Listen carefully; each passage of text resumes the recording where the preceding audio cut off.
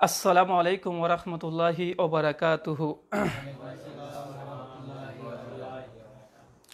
আলহামদুলিল্লাহ রব্বিল আলমিন ওসলাত ওয়াসালামু আলা রসুলিহিল আমিন ওয়ালা আলিহি ওয়াসহাবিহি আজমাইন আম্মাবাদ আউজ বিল্লাহি সামি ইল আলিম মিন শৈতন রজিম মিন হামজিহি ওয়ানাকফিহি ওয়ানাফসিহ বিসমিল্লাহ রহমান রহিম ওয়াকুল জাআল হাক্কু ওয়াজহাকাল বাতিল ইন্নাল বাতিলা কানা জাহুক প্রশংসা মাত্র আল্লাহর জন্য, শান্তির দ্বারা বর্ষিত হোক মোহাম্মদ সাল্লাহু আলী ওয়াসাল্লামের প্রতি।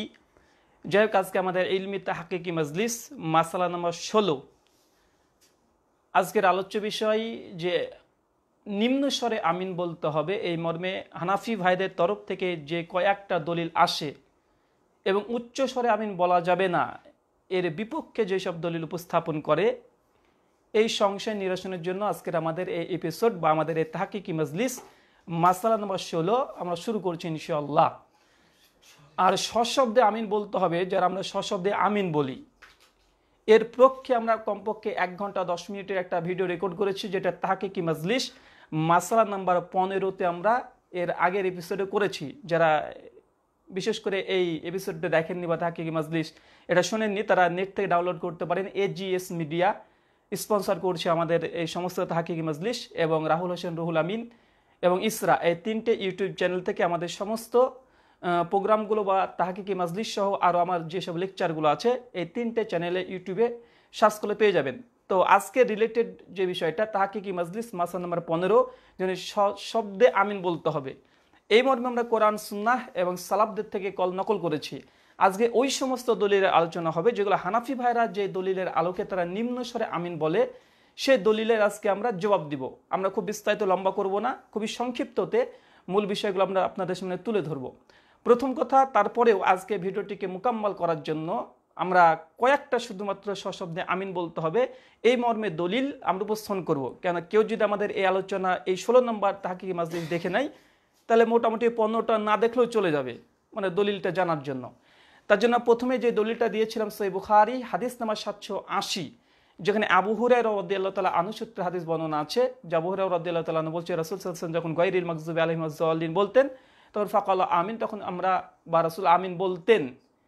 তো এই হাদিসটা বর্ণনা করছে কে?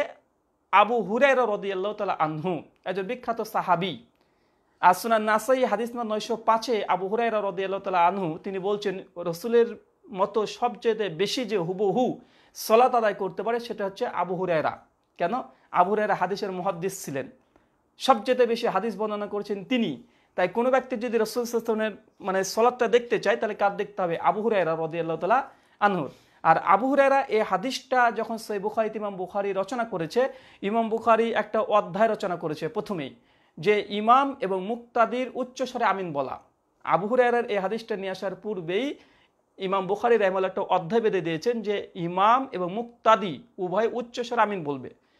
আলহামদুলিল্লাহ, ইমাম বুখারি একশো চুরানব্বই জন্মগ্রহণ করে, দুশো ছাপ্পান্ন মৃত্যুবরণ করে।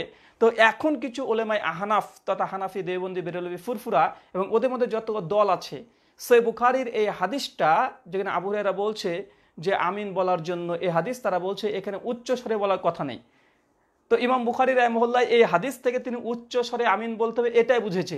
এখন যদি ওলে ভাই আহানাব দেবন্দি বেরোলবি না বুঝে, এটা তাদের একটা ব্যর্থতা বা কপাল পোড়া বলা যেতে পারে। কারণ যিনি হাদিস সংকলন করেছে, তিনি অধ্যায় রচনা করে দিয়েছেন, যেটা হচ্ছে উচ্চ স্বরে আমিন বলার পক্ষে। এছাড়া এই হাদিসটা ইমাম নাসাই সুরান নাসাই নশো আঠাশ নম্বর হাদিসে নিয়ে এসেছে আবু রেহরার ঠিক ওখানে তিনি উচ্চস্বরে আমিন বলে অধ্যায় রচনা করেছেন। এই হাদিসটা ইমাম ইবনু মাজা, সান ইবনু মাজা আটশো একান্ন নম্বর হাদিস নিয়ে আসার আগেই একটা অধ্যায় রচনা করেছেন ইমাম মুক্তাদির উচ্চস্বরে আমিন বলা। এবং ইমাম ইবনু খুজাইমা পাঁচশো সত্তর নম্বর হাদিসে আবু হুরাইরার এই হাদিসটা নিয়ে এসেছে, নিয়ে এসে অধ্যায় বেঁধে দিয়েছে উচ্চস্বরে আমিন বলা। তার মানে বোঝা গেল মহাদ্দিসগণ আবু হুরায়রা রদিয়াল্লাহ তালানুর এই হাদিস থেকে দলিল নিয়েছে সশব্দে আমিন বলা। এখন কোনো হানাফি ভাই যদি বলে, না, এখানে সশব্দে বলতে হবে বা উল্টা তাবিল করে, এগুলো আর স্থান পাবে না। কেন? কেন মহাদ্দিস যারা হাদিস সংকলন করেছে, তারা একটা রায় পেশ করেছে। আর মহাদ্দিসগণ আমাদের চাইতে তিনি হাদিস বেশি বুঝেন, এটা আমরা বিশ্বাস করি। এখন কেউ যদি শুধু মাঝাবি গোরামির কারণে যেটাকে মানতে না চাই, তো আমরা তাদেরকে কপাল পড়া ছাড়া কিছু বলতে পারি না। কেননা যারা হাদিস গ্রন্থ রচনা করেছে, তারা সমাধান দিয়ে গেছে। তা আলহামদুলিল্লাহ, আমরা এই সমাধানটাকে মেনে নিয়েছি। দুই নম্বর দলিল যে আবু হুরায়রা সই বুখারির হাদিসটা যে সশব্দ আমিন বলা, এর পক্ষে আর একটা দলিল মানে দালিলিক জবাব আমরা আগে বলেছি, কোনো রাবি যখন কোনো হাদিস বর্ণনা করে, তাহলে আমাদেরকে দেখতে হয়েছে রাবির আমলটা কি ছিল। আবু হুরায়রা আমিন প্রসঙ্গে হাদিস বর্ণনা করেছে সই বুখারিতে, এখন আবু হুরায়রা কি জোরে আমিন বলতেন নাচতে বলতেন? এখন যদি জোরে আমিন বলে আবু হুরায়রা তাহলে হান্ড্রেড পার্সেন্ট আমাদেরকে বুঝে নিতে হবে। সই বুখারির ওই আবু হুরায়রার যে হাদিসটা বর্ণনা আছে এবং তার আমল যদি জোরে হয়, তো জোরে আমিন বলাটাই এটা সই সুন্না দ্বারা প্রমাণিত। এখন কেউ উল্টা তাবিল করতে পারে, অপব্যাখ্যা করতে পারে, সেদিকে কর্ণপাত করার কোনো জরুরত নাই। তো আমরা যেটা দেখছি, আবু হুরায়রার প্রসঙ্গে মুসান্নাফ আব্দুর রাজ্জাক হাদিস নাম্বার দু হাজার ছয়শো চৌত্রিশে আবু হুরায়রা তালাহ সশব্দে আমিন বলতেন, এই মর্মে সই সনদে হাদিস বর্ণনা আছে। তো আমরা স্পষ্ট বুঝে নিলাম যে সশব্দে আমিন বলতে হবে, এটা আবু সই বুখাইতে বর্ণনা করেছে এক। দুই নম্বর, আবু হুরায়রার আমল ছিল সশব্দেই আমিন বলা। তাই যত রকমের এখন ব্যাখ্যা করুক, যত রকমের তাবিল করুক, ওলমে আহনাফ, সবগুলো মারদুদ। আর দুই নম্বর, সমস্ত মহাদ্দিস আবু হুরায়রার হাদিসটা নিয়ে আসার আগেই সশব্দে আমিন বলেছে। স্পষ্ট? এত যদি স্পষ্ট হয়ে যায়, তাহলে আমাদের এই দলিলটাই যথেষ্ট হয়ে যায় যে সশব্দে আমিন বলতে হবে। এখন দুই নম্বর পয়েন্ট যে ওলেমাই আহানাফের তরফ থেকে একটা দলিল দেওয়া হচ্ছে নতুনভাবে যে নিম্ন স্বরে আমিন বলতে হবে বা মনে মনে আমিন বলতে হবে। দলিল কি? তাজ্য হয়ে যাবেন। সুরা আর আফসান সাত, আয়াত নম্বর পঞ্চান্ন থেকে দলিল দিচ্ছে যে আল্লাহ সুবান তালা তিনি বলেছেন যে তুমি আমাকে ডাকো অনুচ্চ স্বরে এবং ভয় ভীতি সহকারে। খুফিয়া মানে অনুচ্চ স্বরে আল্লাহকে ডাকো এবং ভয় ভীতি সহকারে।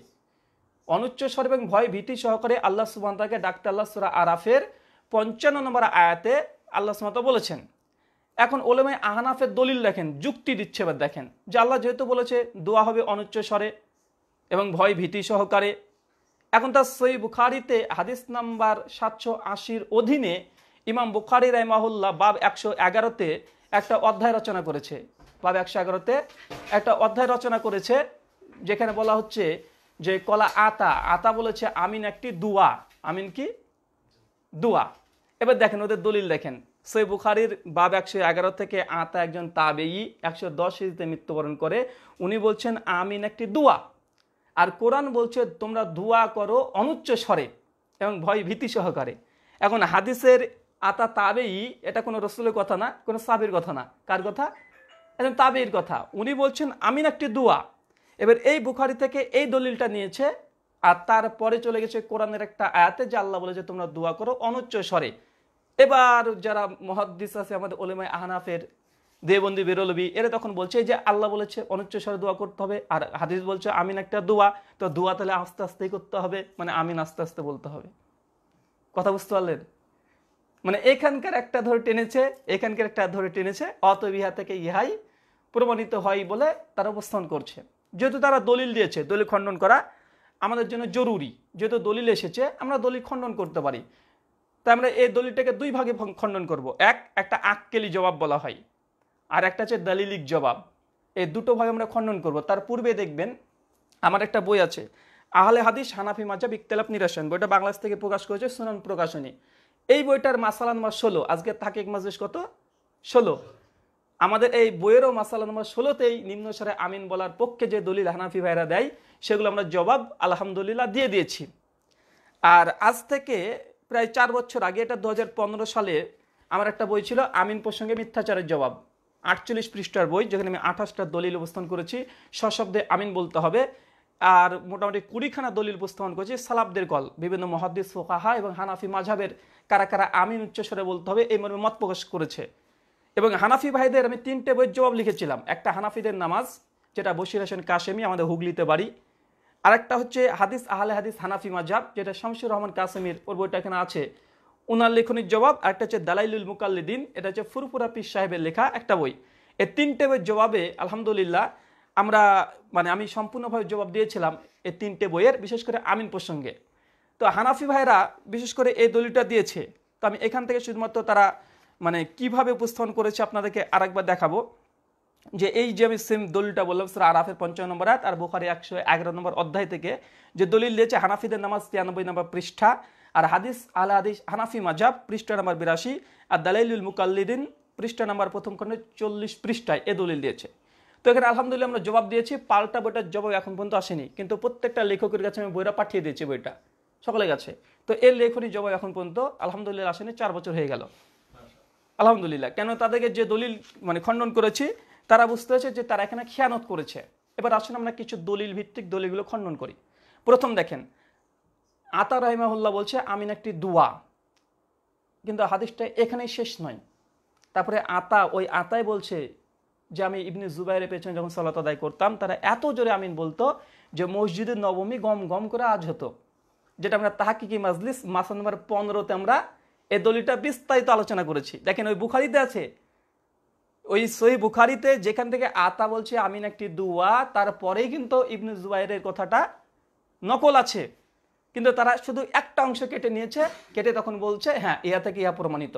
কিন্তু অধ্যায়টা কিন্তু ওখানে শেষ নয়। তা এটা হচ্ছে প্রথম খেয়ানত, এটা হচ্ছে ইলমের খেয়ানত। কেন যদি দিতেই হয়, তো পুরোটা দিক। আতা বলছে, আমিন দুয়া, ঠিক আছে। কিন্তু আবার আমিনই বল আতা রাইমাহুল্লাহ উনি বলছে যে এটা যদি দুয়াই হয়ে থাকে, যে দোয়া হয়ে থাকে, তো এই দোয়াটা কেমনভাবে পড়তে হবে? যেটা জোরে। কেন? মসজিদ নবমী গম গম করে আওয়াজ হতো, দলিল পাওয়া গেল। এখন হানাফি ভাইদের দলিল হচ্ছে, লা তাকরাবুসালা সনিসা তেতাল্লিশ নম্বর আয়াত, যে তোমরা নামাজের ধারে কাছে যেও না। ও আন্তুম সুকারা বাদ মানে নিশাগ্রস্ত অবস্থায় এ কথা বাদ। এখন এইভাবে যদি নিজের মাঝাবকে প্রতিষ্ঠা করার জন্য, দলকে মজবুত করার জন্য যদি কোরআন থেকে বা হাদিস থেকে একটু অংশ নেন, তো অসংখ্য দলিল দেওয়া যাবে। সুরা মাইদা পড়বেন, আয়াত নাম্বার তিয়াত্তর, আল্লাহ সুমাতা বলছে, লাকাদ কাফরাল্লাদিনা কালু ইন্নাল্লাহ সালাসা। এবার লাকাদ কাফরাল্লাদিনা কালু, এই কথাটা যদি বাদ দেওয়া যায়, ইন্নাল্লাহ সালিসু সালাসা। যে ঈশা মসি হচ্ছে আল্লাহ। একটু বাদ দিয়ে দেন, কিন্তু আল্লাহ বলছে, তারা কুফরি করছে। কারা? যারা বলছে ঈশা মসি হচ্ছে আল্লাহ, বা তিনের মধ্যে এক। এমনভাবে যদি কেউ দলিল যদি বের করতে চায়, তাহলে কোরআন থেকে তো খ্রিস্টানরা বলবে হ্যাঁ এই তো ঈশাই আল্লাহ, কোরআনে আছে। আগের অংশটা বাদ দিল। এইভাবে অসংখ্য দলিল আছে। কলুল্লা ইয়াদখুনা জান্নাতা ইল্লামান কানা ইয়াহুদা ও নাসারা। আল্লাহ সুরা বাকার একশো এগারো নম্বর আয়াতে যে কলু লা ইয়াদখুনা, কলুটা বাদ দিয়ে দেন, লা ইয়াদখুনা জান্নাতা ইল্লামান কানা ইয়াহুদা ও নাসারা। শুধু কলু শব্দ বাদ দিয়ে দেন, তাহলে অর্থ কি দাঁড়াচ্ছে? এখানে অর্থ এটা দাঁড়াচ্ছে যে ইহুদি এবং খ্রিস্টান ছাড়া কেউ জান্নাত যাবে না। সুরা বাকার একশো এগারো নম্বর আয়াত। তো ঠিক এই কাজটাই করেছে ওলেবে আহনাফ। তারা এটাই করছে যে কলা মানে আতারদি রেহমাহুল্লাহ তিনি বলছেন, আমিন, একটি দুয়া। এতটুকু শেষ। কিন্তু পরে যে আছে ইবনে জুবাই মানে জুবাই বলছে যে, আমরা তা মানে এমনভাবে আমিন বলতাম যে, মসজিদ নবমী গম গম করে আজ হতো এটুকু আর নাই। এটা প্রথম খেয়ানত। দুই নম্বর, জবাব হচ্ছে এটা। বলেন তো, দুয়া কি সব দুয়াইকে আস্তে করতে হয়? যদি এটাই হয়তো হানাফি ভাই কাছে প্রশ্ন, আপনারা যখন নামাজ শেষ করেন যদি সম্মিলিত মনোজাত করেন, ওটা তো আমরা বিদাত মনে করি, কোরআন দ্বারা প্রমাণিত নয়। তারপরে মুক্তাই ইমাম সাহেব যখন রব্বানা জালামনা শুরু করে মুক্তাদি কি মনে মনে আমিন বলে, দেখেন? মনে মনে বলে না জোরে বলে? তো তখন এ দলিল থাকে কোথায়? ওরা তো ইমাম পেছনে জোরে জোরে আল্লাহ আমিন আল্লাহ আমিন আমিন আমিন করছে করছে কি করে না? প্রত্যেকটা দোয়াতে করে। জানাজার সালাতের শেষেও তারা আমিন জোরে জোরে বলে। এমনকি বিভিন্ন মসজিদ হচ্ছে, মিলাদ মাহফিল হচ্ছে, ইমাম সাহেব দোয়া ধরেছে, তো ধরেছে, ওরা পেছন থেকে আমিন আমিন করে চিল্লাচ্ছে। আরও অনেক জায়গায় আছে, বিভিন্ন ওই জলসা ময়দানে দোয়া পড়া হচ্ছে, আমিন আমিন বলছে। তো এর সমাধান কি? মানে এটা হচ্ছে অ্যান্টিভেনাম জবাব। মানে তারা যেহেতু অভিযোগ করছে আমিন দোয়া, তার মানে আস্তে করতে হবে, তো তোমরা তো আমিন জোরে জোরে বলছো, কেন বলছো? তখন এই কোরআনের আয়াত, এই হাদিসটা গেল কোথায়?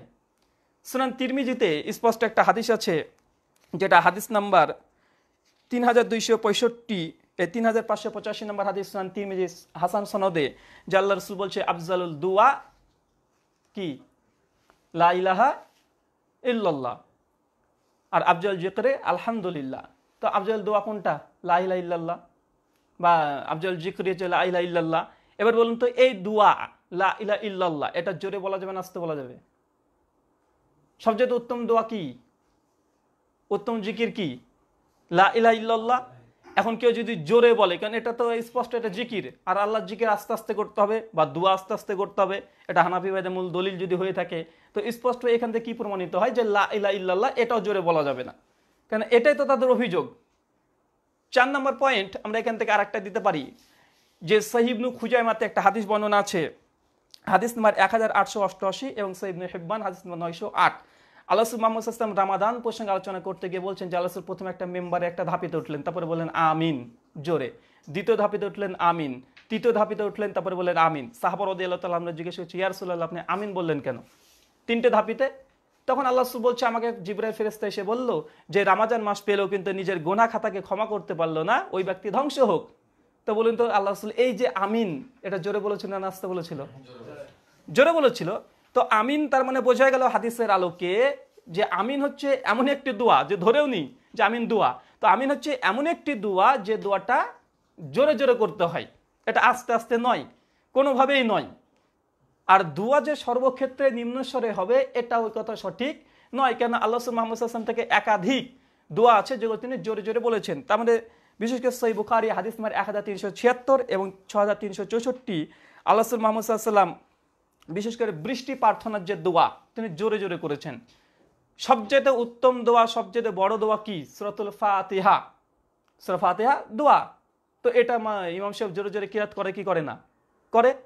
তো কোনো দিক থেকেই মানে তাদের এই যে অভিযোগ, যে অভিযোগটা এটা কখনোই কোরআন সুন্না অনুযায়ী সঠিক নয়, যে আমিন দুয়া, আর দুয়া মানে আস্তে করতে হবে অত ইমামের পেছনে মুক্তাদি আস্তে আমিন বলবে, এটা কোনোভাবেই গ্রহণযোগ্য তাদের একটা বা কোনো ইলমি কোনো অভিযোগ না। এটা একটা অনার্থক নিতান্তই শুধু মাঝাবকে মজবুত করার জন্য তারা এই দলিলটা উপস্থাপন করছে। তো এই দলিলটা সম্পূর্ণ মারদুদ। এটা গ্রহণযোগ্য আমরা মনে করছি না। তাই তারপর আমরা জবাব দিলাম দালিলিকভাবে। কারণ দোয়া, বিভিন্ন দোয়া আছে যেগুলো উচ্চস্বরে করতে হয়, বিভিন্ন দোয়া আছে যেগুলো নিম্নস্বরে করতে হয়। আরেকটা দলিল দেখেন।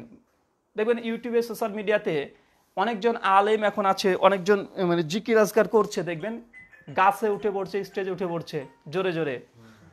এগুলা কি? জোরে করে নাচতে করে জিকিরগুলো এ দোয়াগুলো, কি করছে? দোয়া যদি আসতেই হবে, জিকির যদি আসতেই করতে হবে, তাহলে এই সব জিকিরগুলো এই সব দোয়াগুলো একবার চিল্লে, কাঁদিয়ে, ভাসিয়ে একবার স্টেজে পরে উঠে পীর সাহেবকে গটমট করে চেপে ধরছে। উজানি পীর বাংলাদেশের আছে, চরমনায় পীর মানে চরমনায় তরিকা যারা চলে তারা সেম একই কাজ করছে, চিল্লে জিকির করছে। তো এই দিকে অভিযোগ আসছে না কেন? তো সার্বিকভাবে এতটাই যে সমাজদার কেলে ইশারায় কাফি, যে সার্বিকভাবে এতটাই যথেষ্ট যে না, এই আমিন হচ্ছে এমন একটি দুয়া যেটা হাদিস থেকে প্রমাণিত আছে, যেটা সশব্দে বলতে হবে। তারপরে আমরা আক্কেলে এতগুলো জবাব দিলাম। এই জবাবগুলো না দিলেও আলহামদুলিল্লাহ এই আমিন সশব্দে বলতে হবে, এটাই প্রমাণিত। দুই নম্বর দলিল। সুনান তিরমিজি হানাফি ভাইদের পক্ষ থেকে দেওয়া হয় দুশো নম্বর হাদিস, কত বললাম? দুশো উনপঞ্চাশ নম্বর হাদিস। সুনান তিরমিজিতে দুশো উনপঞ্চাশ নম্বর হাদিস একটা এসেছে, যেটা সুবাহ তিনি বর্ণনা করছেন যে আল্লাহ মোহাম্মদ সাল্লা সাল্লাম, তিনি অনুচ্চস্বর আমিন বলেছেন। কে বলছেন? সুবা। আর তার আগের হাদিস সুনান তিরমিজি দুশো আটচল্লিশ নম্বর হাদিস, দুটোই ওয়েলবিন হুজুরের সূত্রে বর্ণনা আছে। ওখানে সুপিয়ান সাউরি সুপিয়ান বর্ণনা করছে যে আল্লাহ রসুল উচ্চ সরামিন বলেছে। কথা বুঝতে পারলেন? সুপিয়ান সাউরি একশো ছেষট্টি হিজড়িতে মৃত্যুবরণ করে। ইনি বর্ণনা করছেন ওয়াইলবিন হুজুরের সূত্রে যে ওয়াইলবিন হুজুরের মানে সনদ বর্ণনা করছেন যে তিনি হচ্ছে উচ্চস্বরে আমিন বলেছেন। আল্লাহ রসুল উচ্চস্বরে আমিন বলেছেন।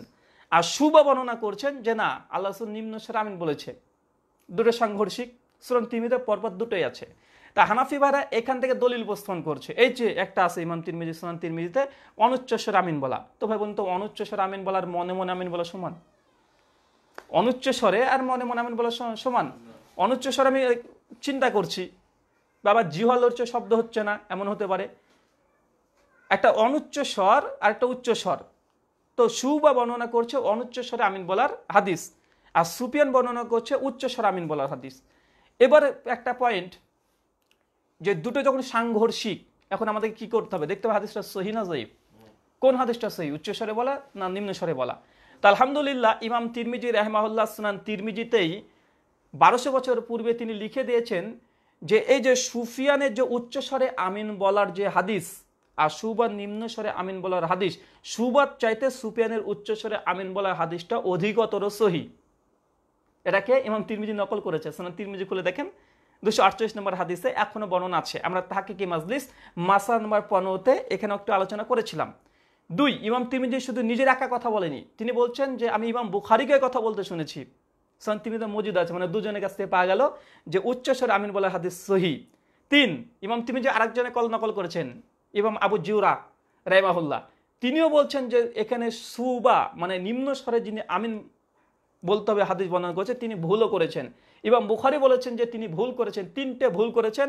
ইমাম তিরমিজি, সোনান তিরমিজিতে লিখে রেখেছেন। এখনই খুলে দেখেন সোনান তিরমিজি দুশো আটচল্লিশ নম্বর হাদিস। তিনটে ভুল যে সুবা করেছে নিম্নস্বরে আমিন বলতে হবে, এই মর্মে যিনি হাদিস বর্ণনা করেছে, তার তিনটে ভুল হয়েছিল। সেই ভুল কটা সুতরাং তিরমিতে স্পষ্ট মজুদ আছে। তার মানে বোঝা গেল সুতরাং তিরমিজিতেই নিম্নস্বরে আমিন বলতে হবে, এই মর্মে যে হাদিসটা এসেছে। বারোশো বছর পূর্বে ইমাম তিরমিজি তিনজনের কল নকল করে বলেছে, এই হাদিসটা সুফিয়ানের হাদিসটা সহি মানে উচ্চস্বরে আমিন বলা সহি, আর নিম্নস্বরে আমিন বলা হাদিসটা এটা জাইব তো এটা দলিলের মানে কি?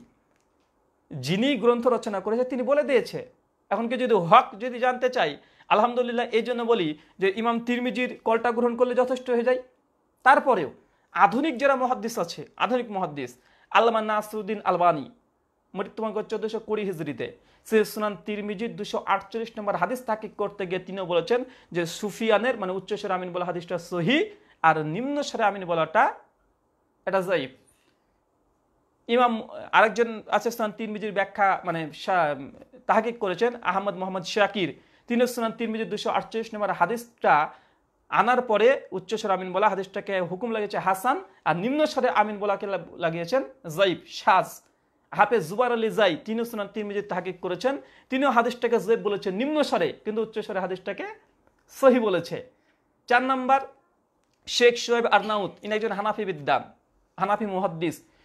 তার সুনান তিন মিজি দুশো আটচল্লিশ নম্বর হাদিসের তাহাকিক দেখেন, তিনিও বলছেন এই হাদিসটা সহি, যেটা উচ্চ স্বরে আমিন বলা। আর নিম্ন স্বরে আমিন বলা হাদিসটা জৈব তো একদম মানে প্রথম থেকে শেষ পর্যন্ত অধিকাংশ মহাদ্দিসের রায় হচ্ছে এটাই যে সশব্দে আমিন বলতে হবে এ হাদিস সহি। আর নিম্ন স্বরে আমিন বলার যে সুবা যে হাদিসটা বর্ণনা করছে, এটা সাজ, এটা জয়ীব, এটা গ্রহণযোগ্য নয়। আর উচ্চ স্বরে আমিন বলতে হবে হাদিসটা যে সহি। এই মর্মে আমরা থাকি কি মাজলিস? মাসালা নাম্বার পনেরোতে আমরা তেরো জন মহাদিসের কল নকল করেছি। আমরা দেখবেন তেরো জন মহাদিসের কল নকল করেছি। যে উচ্চ স্বরে আমিন বলা শোনান তিন বিজি হাদিসটাকে তেরো জন মহাদিস সই বলেছে। একদম প্রথম থেকে শেষ পর্যন্ত আমরা কল নকল করেছি। আর সুবার এই হাদিসটা অধিকাংশ জমহুর মহাদিসগণ এই হাদিসটাকে জৈব বলেছে। এক। দুই নম্বর বিষয় এখানে যে সুফিয়ান সাউরি যে উচ্চস্বরে হাদিস বলছে, যে উচ্চস্বরে আমিন বলতে হবে, এই সুফিয়ান সাউরি শুধু একাই বর্ণনা করছেন না, এর সঙ্গে আরও দুজন মানে দুইজনের শাহেদ আছে মানে সাক্ষীমূলক। তোমাদের শোনান আবু দাউদ দেখেন, ইবনে মাজা আটশো পঞ্চান্ন নম্বর হাদিস মানে একে সমর্থন করার জন্য অন্য সনদেও এ উচ্চস্বরে আমিন বলার হাদিস আছে। কিন্তু নিম্ন স্বরে যে সু বা হাদিস বর্ণনা করছে, তার সঙ্গে কেউ নেই, তিনি একাই। কথা বুঝতে পারছেন? তিন নম্বর এখানে আর একটা পয়েন্ট যে উচ্চস্বর আমিন বলা হাদিসটা যে সহি, এর পক্ষে আমাদের আর একটা দলিল হচ্ছে এটা, যে মুহাদ্দিসদের একটা অসুল যে সুফিয়ান সাউরি আর সুবার মধ্যে যদি ইকতেলাফ হয়ে যায়, মত পার্থক্য হয়ে যায় পরস্পরের বিরোধী হয়ে যায়, সেক্ষেত্রে করণীয় কি? কেন সুফিয়ান সাউরি ইনিও গ্রহণযোগ্য একজন রাবি মানে বর্ণনাকারী হাদিসের। আবার সুবাহ, ইনিও কিন্তু গ্রহণযোগ্য একজন বর্ণনাকারী রাবি। এখন দুইজন এদের মধ্যে যে টক্কর লেগে যায়, এরা যদি পরস্পর বিরোধী হাদিস বর্ণনা করে, তাহলে কার কথাটাকে প্রাধান্য পাওয়া যাবে? ইমাম বাইহাকি রহমাহুল্লাহ মৃত্যুবঙ্গ চারশো আঠান্ন মানে হিজড়িতে তিনি একটা মানে সিদ্ধান্ত দিয়েছেন, ইমাম বাহাকি রহমল্লা যে সুপিয়ান সাউরি আর যদি সুবার মধ্যে যদি ইকতলাফ হয়ে যায়, সেক্ষেত্রে কার কথাটা প্রাধান্য পাবে? তো আমি ওটা শুধুমাত্র কলটা নকল করছি।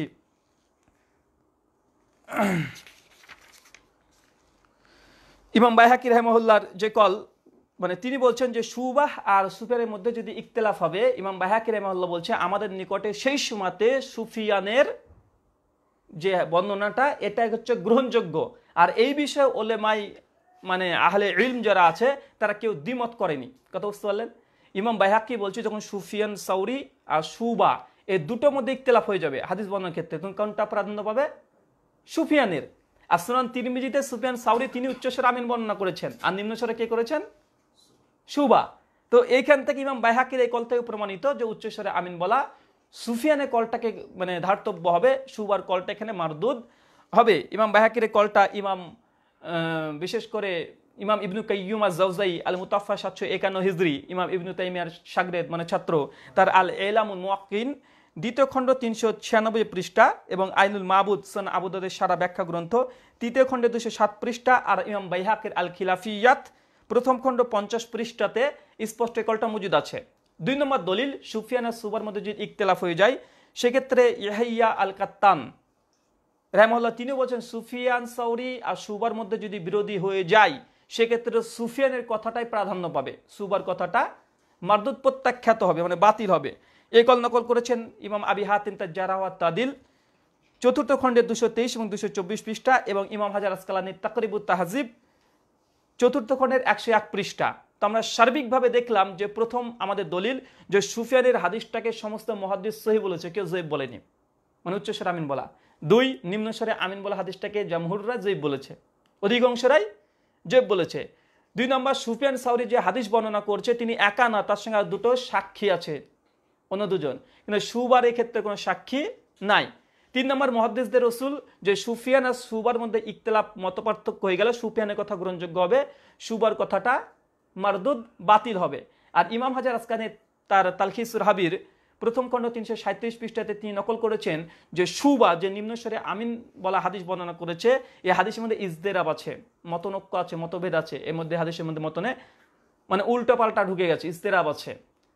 এর প্রতি মানে এখানে অভিযোগের পর অভিযোগ আছে হাদিসে। কিন্তু সুফিয়ানের হাদিসের পরে কোনো হানাফি বিদ্যানরাও অভিযোগ করেনি। তখন বলে তো মানে একটা ইনসাফের দৃষ্টিকোণ থেকে যে কোন দলিলটা বেশি গ্রহণযোগ্য, কোনটা?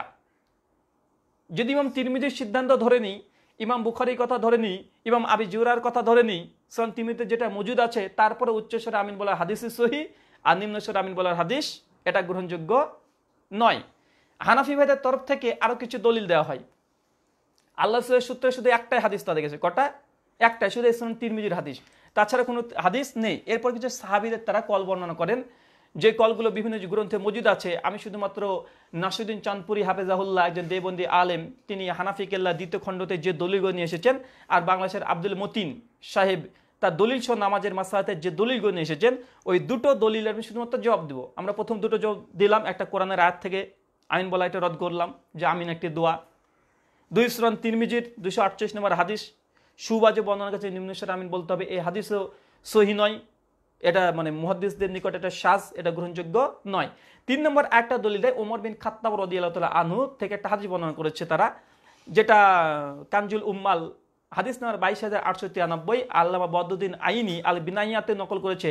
দ্বিতীয় খণ্ড একশো ছিয়ানব্বই পৃষ্ঠা, আর ইমাম ইবনু হাজম, আন্দোলসি ইমাম ইবনু হাজম তাল আল মুহাল্লা মাসালা নাম্বার তিনশো তেষট্টিতে একটা কল নকল করেছেন। ওমর বিন খাত্তাব রদিল্লাহ তিনি বলছেন যে, চারটি বিষয় অনুচ্চস্বরে বলতে হবে। কয়টা বিষয়? চারটে বিষয়।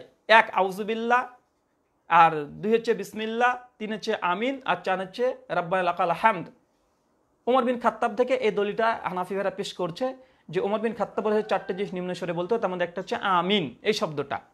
এই দলিলটা তারা দিচ্ছে কিন্তু দলিলটা সহি নয়। কেন? এই দলিলের মধ্যে ইনকেতা আছে, বিচ্ছিন্নতা আছে। মানে সনদটা মুনকিত মানে সূত্র বিচ্ছিন্ন। কেমন? এখানে শুধুমাত্র এতটাই যে হাদিসে যে উমর বিন খাত্তাব রদি আল্লাহ থেকে যিনি হাদিস বর্ণনা করছেন উমর বিন খাত্তাব থেকে যিনি হাদিস বর্ণনা করছেন, তার নাম হচ্ছে আব্দুর রহমান ইবনে আবি লাইলা। আব্দুর রহমান ইবনে আবি লাইলা। ইনি বলছেন যে উমর বিন খাত্তাব রদি আল্লাহ আনহু, তিনি বলছেন চারটে জিনিস নিম্নসারে বলতে হবে। কিন্তু উমর বিন খাত্তাব রদি আল্লাহ আনহু তেইশ হিজড়িতে শাহাদাত বরণ করে, এই আবি লাইলার সঙ্গে উমর বিন খাত্তাবের সাক্ষাৎ প্রমাণিত নয়, তার সঙ্গে দেখাই হয়নি। প্রথম বুঝতে হলেন কি? যে ওমর বিন খাত্তাব সম্পর্কে তিনি যে বলছেন আবি লাইলা আব্দুর রহমান ইবনে আবি লাইলা, ইনার সঙ্গে ওমর বিন খাত্তাবের সাক্ষাৎই হয়নি, দেখাই হয়নি। কেন? ওমর বিন খাত্তাব রদ তেইশ হিজড়িতে মৃত্যুবরণ করেছে। আর এই ব্যাপারে ওসলে মহাদ্দিসিন যারা আছে, তারা সকলেই একমত যে ওমর বিন খাত্তাবের সঙ্গে এই আবি লাইলার সাক্ষাৎ প্রমাণিত নয়। আমি কয়েকটা দলিল শুধু দিব, এখানে আবি হাতেম রাইমাহুল্লাহ তার মানে বিশেষ করে তার বিভিন্ন গ্রন্থে এবং বিভিন্ন জায়গাতে তিনি নকল করেছেন এই কথাটা যে আবিলাইলার সঙ্গে রুমি খাত্তাবের সাক্ষাৎ প্রমাণিত নয় মানে সূত্র বিচ্ছিন্ন। আর দুই, এই হাদিসটা আরেকজন বর্ণনা করেছে। তিনি হচ্ছে ইব্রাহিম না খাই কার নাম বললাম? ইব্রাহিম না খাই এই ইব্রাহিম নাখইর সঙ্গেও ওমর বিন খাত্তাবের সাক্ষাৎ প্রমাণিত নয়। কেন ইব্রাহিম নাখই তিনি জন্মগ্রহণ করেছেন পঞ্চাশ হিজুরিতে আর ওমর বিন খাত্তাব মৃত্যুবরণ করেছে তেইশ হিজুরিতে মানে ওমর বিন খাত্তাবের মৃত্যুর সাতাশ বছর পর এই ব্যক্তির জন্ম হচ্ছে। তিনি বর্ণনা করবেন কীভাবে? তিনি কি শুনেছেন বা তার সঙ্গে দেখা হয়েছে? জি না। এসে বিশেষ করে আবি হাতিমের কিতাবুল মারাসিল, রাবি নাম্বার একে যদি দেখা যায়, তো এ কথা প্রথমে লিখেছে কিতাবুল মারাসিল আবি হাতেম যে ওমর বিন খাত্তাবের সঙ্গে ইব্রাহিম নাফই সাক্ষাৎ প্রমাণিত নয়। আর সাক্ষাৎ প্রমাণিত না হলে স্পষ্ট হাদিসটা জাইব গ্রহণযোগ্য না। ইনকেতা আছে, বিচ্ছিন্নতা আছে। এটা কোনোভাবে গ্রহণযোগ্য হবে না। আর সই মুসলিম মুকাদ্দমা সত্তর পৃষ্ঠাতে স্পষ্ট আব্দুল ইবনে আব্বাস থেকে কল নকল করা হয়েছে। আর ইমাম মুসলিম একটা অধ্যায় রচনা করেছে মুরসাল হাদিস প্রসঙ্গে। এটা জমহুর ওলেমাদের নিকটে মুরসাল হাদিস হুজ্জাত নয় মানে দলিলযোগ্য নয়, যে হাদিসের মধ্যে বিচ্ছিন্নতা তো চলে আসে। মানে এটাকে কখনো ইনকেতা বলা হয়, মুরসাল বলে সাহাবিদেরকে তাবি হলে ইনকেতা, মুনকিত, অনেকগুলো পরিভাষা আছে, তবে সবগুলো মূল হচ্ছে বিচ্ছিন্ন সনদ। তো এটা কোনোভাবে গ্রহণযোগ্য নয়, যেটা ওমর বিন খাত্তাব থেকে চারটে জিনিস নিম্ন স্বরে বলতে হবে, এই সনদ সহি নয়। দুই নম্বর, আরেকটা দলিল তাদের, যে ওয়াইল বিন হুজুর রদি আল্লাহ তিনি বর্ণনা করছেন যে আলী ও আবদুল্লাবনে মাসুদ বিসমিল্লা উচ্চস্বরে পড়তেন না, আর তিনি আউজিবিল্লা ও আমিনও উচ্চস্বরে পড়তেন না। ওয়াইল বিন হুজুরের সূত্রে এখানে দুজন রাবির নাম মানে সাবির নাম পাচ্ছে একজন আলী আজের আবদুল ইবনে আব্বাস মানে স্যার আব্দুল ইবনে মাসুদ। রদি আল্লাহ তারা অনুচ্চ স্বরে আমিন বলতেন, নিম্ন স্বরে আমিন বলতেন। এটা নকল করেছে ইমাম আমাদের বিশেষ করে হানাফি ভাইরা তাদের হানাফি কেল্লা দ্বিতীয় খণ্ডতে এবং নাসিদ্দিন মানে বাংলাদেশের আলেম দলিস নামাজে মাসালে আব্দুল মতিন সাহেব তিনি নকল করেছেন। তাবরানি মুজামুল কাবির, হাদিস নাম্বার ন হাজার তিনশো চার। এই হাদিসের সমস্যা হচ্ছে এটা যে এই হাদিসের একজন রাবি যিনি, যে সাইদ ইবনে মারজুবান আবু সাদ, এই যে রাবি আছে এই রাবির প্রতি অধিকাংশ জমহুর মহাদ্দিসগণ তাকে জৈবুল আখ্যায়িত করেছে। যে কোনো আসমা রিজাল গ্রন্থ উঠালে এই রাবির প্রতি জমহুর অধিকাংশ মহাদ্দিসগণ তার হাদিস গ্রহণযোগ্য নয়, তার কাছে হাদিস নেওয়া যাবে না।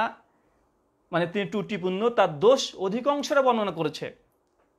যেটা মুজাব, তাবরানি মুজাবুল কাবিরের ন হাজার তিনশো চার নম্বর হাদিস, যেখানে আলী এবং আব্দুল ইবনে মাসুদ তিনি অনুচ্চস্বরে আমিন বলতেন, এই মর্মে যে হাদিসটা এসেছে, এই রাবি প্রসঙ্গে সকলেই অভিযোগ করেছে। আর আমরা স্পষ্ট যখন কোনো ইকতেলাপ চলে আসবে, হাদিসের সঙ্গে সাংঘর্ষিক যদি হয়ে যায়, তখন আমরা সহি দেখতে হবে কি হবে না? অবশ্যই দেখতে হবে। আমরা এর আগে দেখিয়েছি যে না অনুচ্চ মানে উচ্চস্বরে আমিন বলা প্রসঙ্গে হাদিস সবগুলো সহি। হানাফি ভাইরা অভিযোগ করে নি যেটা জৈব, তারা কিন্তু বলেনি। কিন্তু অনুচ্চস্বর আমিন বলা হাদিসগুলো প্রথমটা আমরা দেখালাম, যেটা ইমাম তিরমিজি জেব বলেছে। দুই নম্বর হাদিস যেটা উমর বিন খাত্তা বর্ণনা করছে এটা আমাদের ইনকেতা আছে। তিন নম্বর হাদিস, যেটা অয়েল বিন হুজুরের সূত্রে, আল এবং ইবনু মাসুদের এমল। এটাও রাবিটা জাইব তার মধ্যে কয়েকটা বলি। ইহা ইবনু মাইন রাইমাহুল্লাহ মৃত্যুবঙ্ক দুশো তেত্রিশ ইজরিতে হানাফি গেলা প্রথম খণ্ড পঞ্চাশ পৃষ্ঠাতে নাসিরুদ্দিন চাঁদপুরি লিখেছেন যে আল্লাহ ইহা ইবনু মাইনকে সৃষ্টি করেছেন মিথ্যুকদের মিথ্যা ফাঁস করার জন্য। হানাফি ভাইরা স্বীকৃতি দিয়েছে। এই ব্যক্তি প্রসঙ্গে, কার প্রসঙ্গে? ইহা ইবনু মাইন রাইমাহুল্লাহ তিনা মানে তিনি, এই রাবি প্রসঙ্গে তিনি লিখেছেন যে এই রাবি হচ্ছে কোনো কিছুই না। মানে এর কোনো মানে অস্তিত্ব নাই। মানে হাদিসের ক্ষেত্রে গ্রহণযোগ্যতার কিছুই নেই।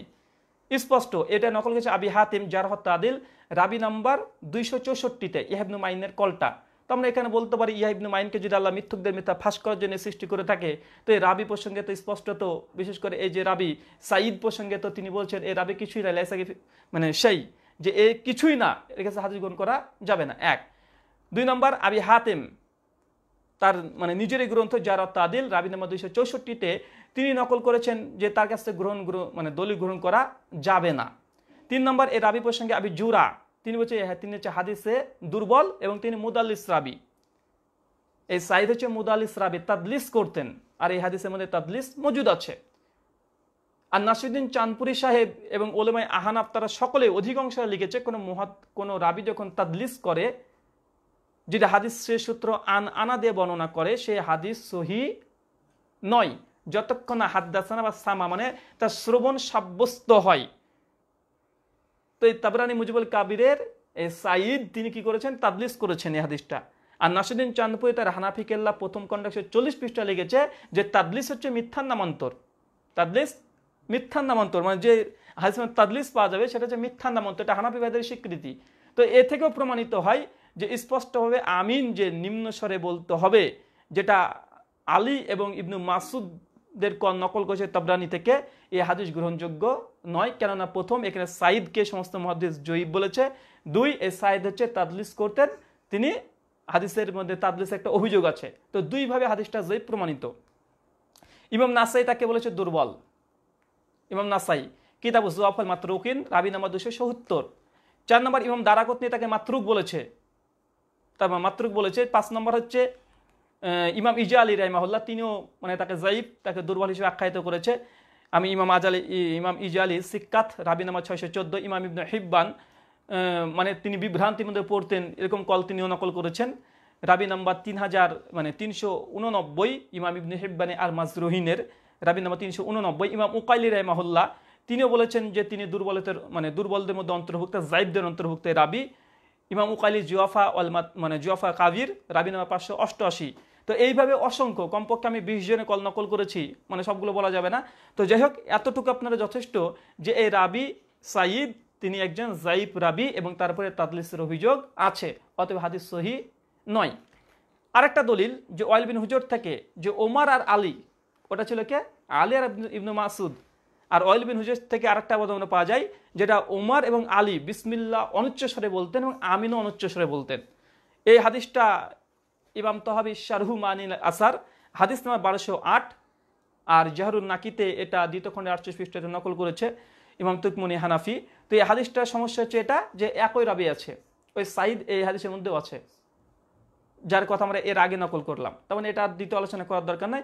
এই হাদিসটাই একই অভিযোগ, তার জন্য এটা জেব তিন নম্বর আরেকটা দলিল যে আব্দুল ইবনা মাসুদ তিনবার বর্ণনা করছেন যে ইমাম তিনটে যে মানে ইমাম তিনটে বিষয় অনুচ্চয় পড়বে। একটা আফজুবিল্লাহ বিসমিল্লা আমিন।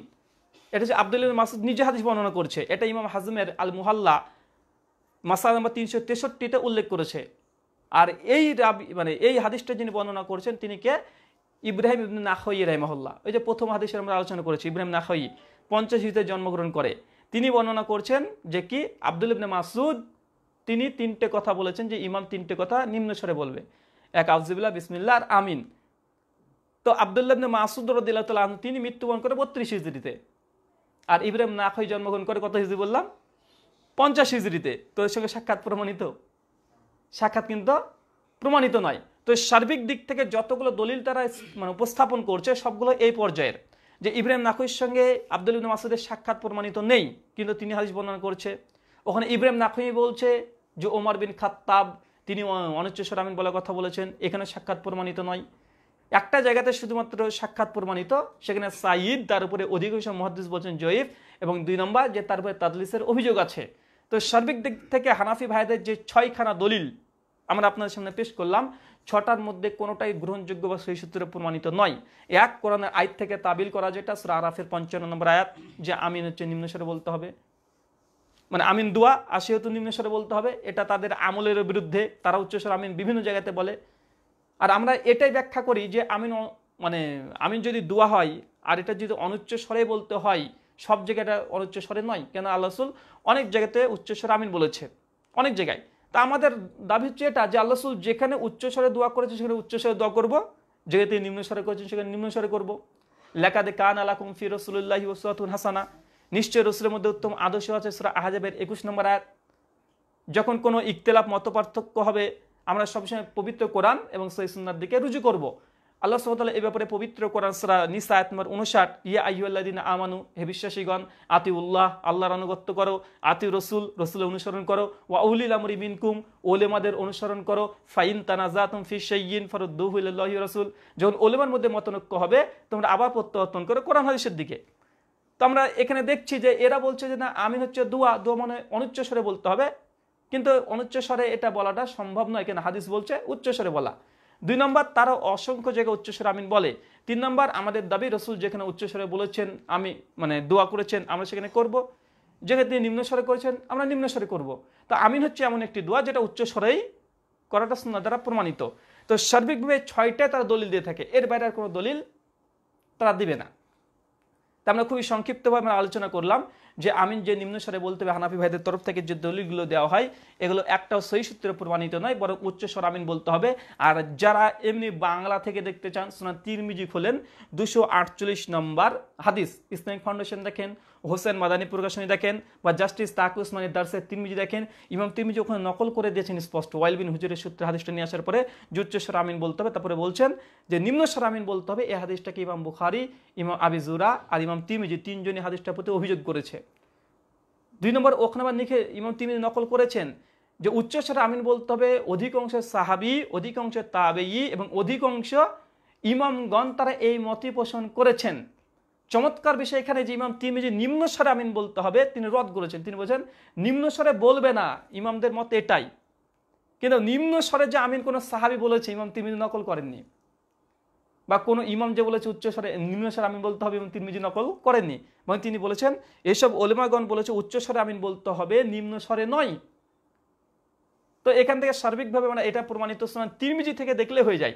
শুধু দুটো জিনিস দেখেন, সুনান তিরমিজি দুশো আটচল্লিশ নম্বর হাদিসটা আর সই বুখারি সাতশো আশি নম্বর হাদিসের অধীন ইমাম বুখারি যে অধ্যায়টা রচনা করেছে। সুনান ইবনু মাজাতে তো স্পষ্ট মজুদ আছে যে আম্মাজান আয়েশা রদি আল্লাহ তিনি বলছেন যে ইহুদিরা সবচেয়ে দুটো জিনিসে বেশি ঈর্ষান্বিত হয়। তার মধ্যে একটা কি জানেন? একটা হচ্ছে আমিন আর একটা হচ্ছে সালাম। একটা আমিন, একটা সালাম। মাস্টার, আপনার পেছনে একটা বই আছে পদাটা সরান। সুনান তিন তিরমিজিটা দেন এখানে নিচে একদম। হ্যাঁ। একটা জিনিস দেখাই, যে ইহুদিরা আমিন বলাতে সবচেয়ে বেশি মানে ঈর্ষান্বিত হয়। একটা আমিনে আর একটা হচ্ছে একটা হচ্ছে সালামে। আর জাস্টিস তাক উসমানী হাফেজাহুল্লাহ, তিনি বিশেষ করে তিনি আমিন প্রসঙ্গে তিনিও আলোচনা করেছেন। আমিন প্রসঙ্গে আলোচনা করতে গিয়ে তিনি একটা কল নকল করেছেন।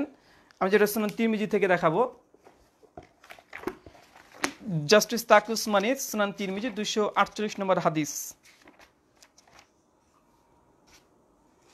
জি এতে দার্সে তিরমিজি আল কাউসার প্রকাশনী, পৃষ্ঠা নাম্বার পাঁচশো ষোলো। হাদিস নাম্বার দুইশো আটচল্লিশের উনপঞ্চাশের আলোচনা দুষ্টব্যে ইমাম মানে জাস্টিস তাকুসমান একটু কল নকল করেছে, দেখেন কি বলছে, তিনি বলছেন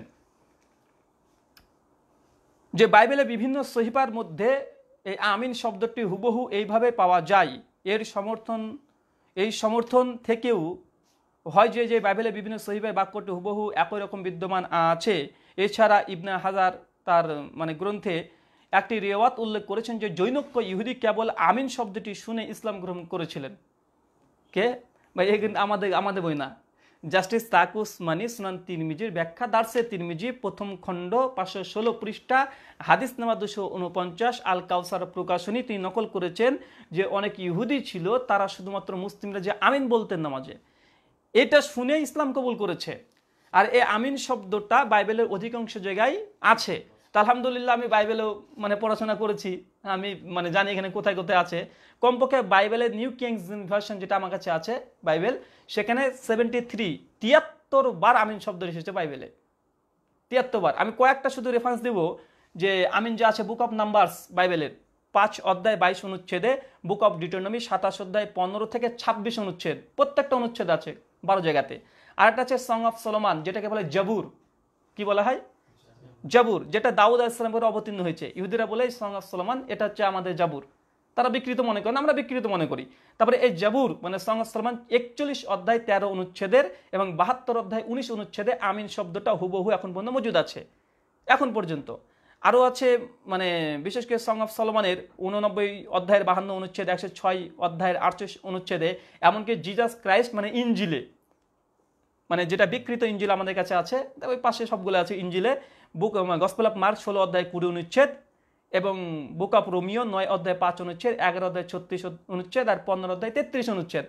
কমপক্ষে তিয়াত্তর বার আমিন শব্দটা গোটা বাইবেল মিলে মজুদ আছে, তিয়াত্তর বার।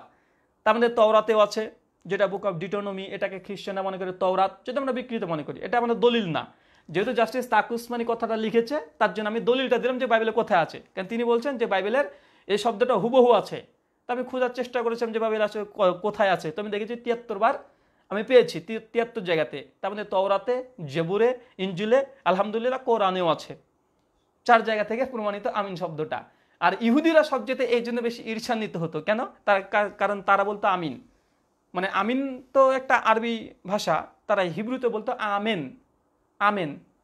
আমেন মানে কবুল করো। আমিন মানে এটা মানে কবুল করো।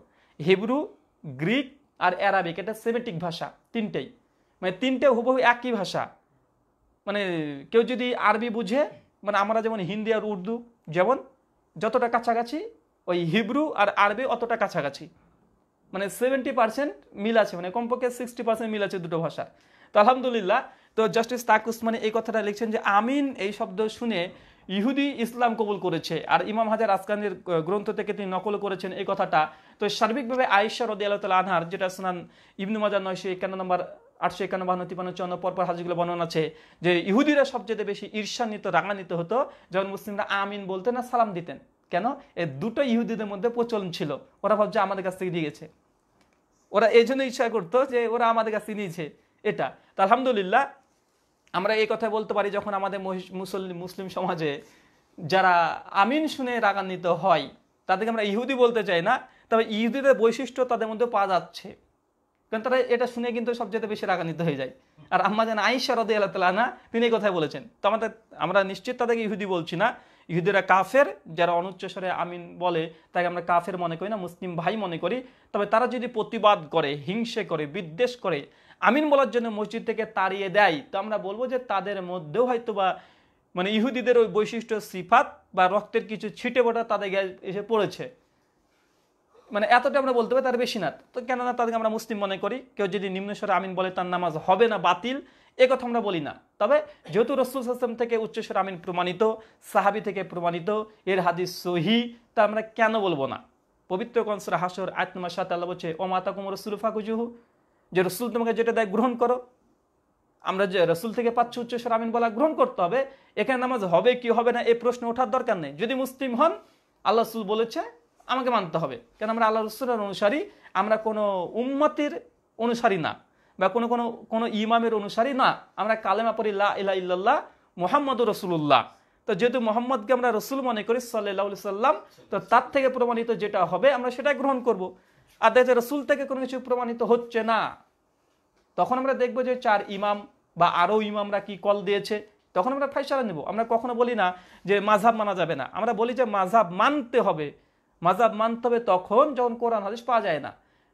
তায়ামুম করা তখনই যায় যখন পানি পাওয়া যায় না। বোঝেন নাই? পানি পাওয়া গেলে যদি না পান, তখন মাটি দিয়ে তায়ামুম করতে হয়। অথচ মনে হয় যে মাটিতে নোংরা হবে, পাক, যেখানে না পাক হবে। কিন্তু তায়ামুমের বিধান কখন? যখন পানি পাওয়া যায় না তো মাঝাবকে আমরা অমনটাই মনে করি, যখন কোরআন এবং হাদিস থেকে স্পষ্ট করে দলিল নেই বা দলিল আছে ইকতলাপ সাংঘর্ষিক মনে হচ্ছে। সেই সময় মাঝাবের সিদ্ধান্ত নিই যে কোন মাঝাবের কথাটা কোরআন এবং সুন্নার নিকটবর্তী, ওটা দলিল ভিত্তিক। তবে যারা মাঝাব মানে আর আমরা মাঝাব মানি না, তার সঙ্গে পার্থক্য কি? তারা মনে করে যে না, ইমাম আবহনিফা বলেছেন, এটা মানতে হবে। বুঝেন নাই? ইমাম আবহনিফা তারা মানে কি, একটা মাঝাব মানে কিন্তু আমরা একটা মাঝাব মানি না। আমরা মানি মাঝাব মানে মত।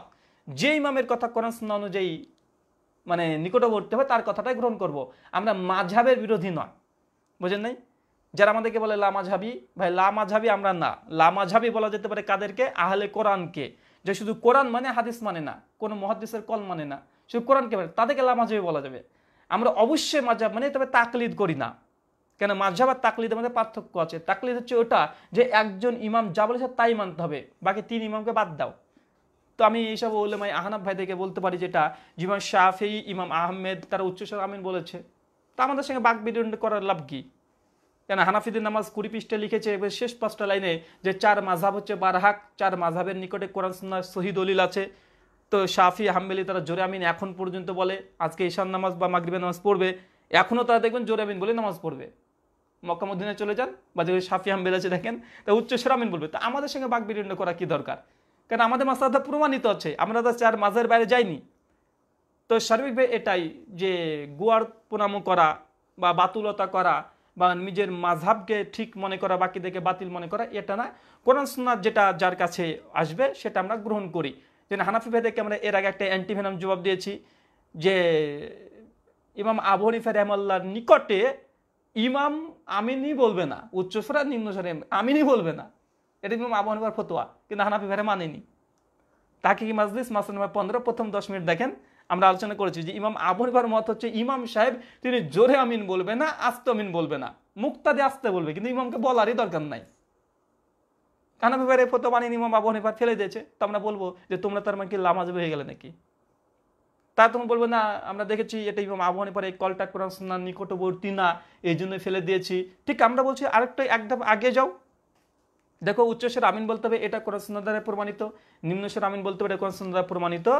সেই সূত্রে প্রমাণিত নয়, অতএব তোমরা উচ্চস্বর আমিন বললে হানাফি মাজাব আর ফাটল ধরবে না। কেন তারাও অধিকাংশ জায়গাতে ইমাম আবু হানিফা বৃদ্ধাচরণ করেছে। তারপরে যে একটা মশালা বললাম। দুই, ইমামতি করে টাকা নেওয়া যাবে কি যাবে না? তারাবিদ করে টাকা নেওয়া যাবে কি যাবে না? বা মজ্জিন গিরি করে টাকা নেওয়া যাবে কি যাবে না? জালসা করে টাকা নেওয়া যাবে কি যাবে না? সার ইমামে তিন ইমাম বলেছে যাবে, ইমাম আবু হানিফা বলেছে যাবে না। তো তোমরা এখানে তোমার জায়জ ভোট দিচ্ছ না জালসা করে টাকা নিয়ে দেবে মানে টাকা যেখানে আসবে, পেট যেখানে ভরবে সেখানে সেখানে ইমাম আবু হানিফা বাদ। মানে এখানে কিন্তু মানেনি ইনশাল্লাহ আমি একদিন আলোচনা করব যে হানাফি ভাইরা ইমাম আবু হানিফার কোন কোন ফতোয়া মানেনি।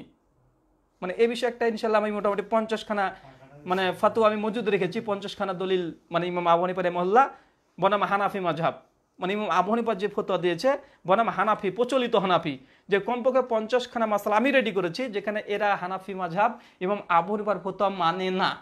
এগুলো। তো যাই হোক, আমরা আজকে আর আলোচনা লম্বা করছি না। আজকে আমরা তাহাকিকি মাজলিস, মাসালা নাম্বার ষোলো আমরা শেষ করলাম। আবার আমরা ইনশাল্লাহ সামনে যে রবিবার আসছে, আমরা ইনশাল্লাহ আবার উপস্থিত হব তাহাকিকি মাজলিস, মাসলা, মাসালা নম্বর সতেরো। তার আগে আমরা হোয়াটসঅ্যাপের মাধ্যমে জানিয়ে দেবো যে আমরা কী বিষয়ে আলোচনা করব। তাই এই বিষয়টা বিস্তারিত জানার জন্য আমাদের দুটো এপিসোডকে একসঙ্গে দেখতে হবে। তাহাকিকি মাজলিস মাসালা পনেরো এবং তাহাকিক মাজলিস মাসালা ষোলো। এই দুটো দেখলেই কমপ্লিট মোকাম্মাল, প্রত্যেকটা দলিল, প্রত্যেকটা জবাব ইনশাল্লাহ পাওয়া যাবে। মোহন সব তাল্লাহ কাছে দোয়া, যে আল্লাহ সুবহানাহু আমাদেরকে হক, জানা, বোঝা এবং আমল করা তৌফিক দান করে। সকল বলি আল্লাহ আমিন। এ দাওয়া, এ দোয়া রেখে আজকে মতো আলোচনা শেষ করলাম। সুহানাক আল্লাহুম্মা ওয়া বিহামদিকা, ওয়া আশহাদু আল্লা ইলাহা ইল্লা আনতা, আস্তাগফিরুকা ওয়া আতুবু ইলাইক। আসসালামু আলাইকুম ওয়া রাহমাতুল্লাহি ওয়া বারাকাতুহু।